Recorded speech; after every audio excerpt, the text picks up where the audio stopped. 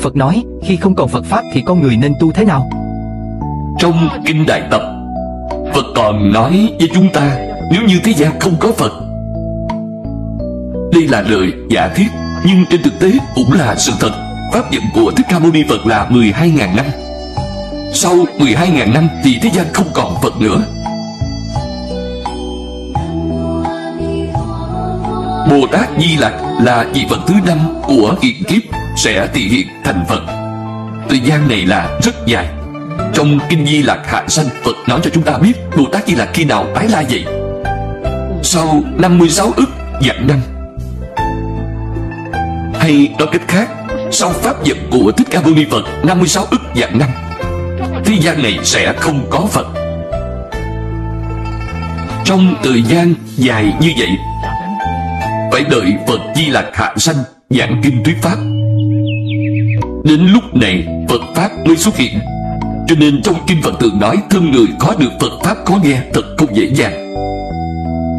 Chúng ta thật may mắn có thể sinh ra trong 12.000 năm này. Bạn mới gặp được Phật pháp.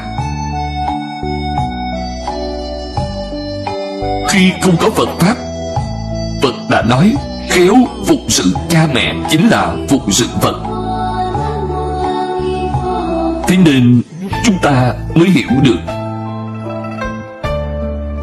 Sau khi Phật Pháp biến mất ở thế gian này, Vì sao Thích Ca Mâu Ni Phật Đem việc độ hóa chúng sanh Giao cho Bồ Tát Địa Tạng,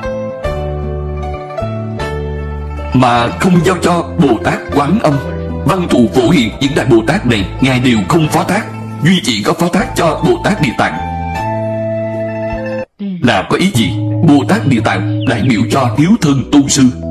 Khi thế gian không có Phật Pháp, bạn biết hiếu thân tu sư thì không khác gì so với việc phục sự Đức Phật.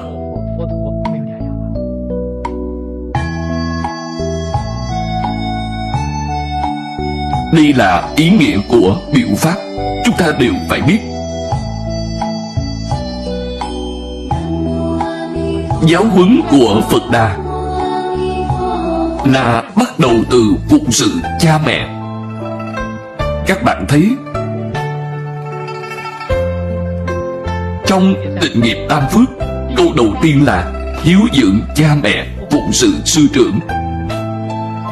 Phật dạy người bắt đầu từ chỗ này, và cũng viên mãn ngay chỗ này.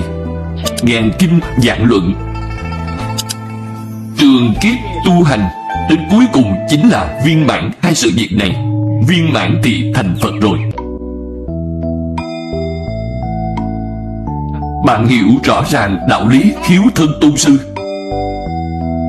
Rồi thực hiện vào trong đời sống của bạn. Thực hiện vào trong việc đối nhân xử thế của bạn thật viên mãn, thì bạn được gọi là thành phật.